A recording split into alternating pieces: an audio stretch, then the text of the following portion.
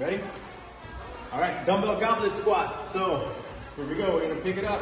You're gonna hold the dumbbell here vertically, fairly close to your body. Your feet, I like going a little wider than hip width, and your toes slightly turned out. When you're doing this movement, your torso is gonna be as upright as you can, okay? We're gonna sit down as low as we can as well, so the, if you can do this, great. If not, you don't have to. You're gonna get down as low as we can. Knees are gonna be slightly turned out, so that they're coming down and they're aligned with your toe, with your second toe. And then come right back up.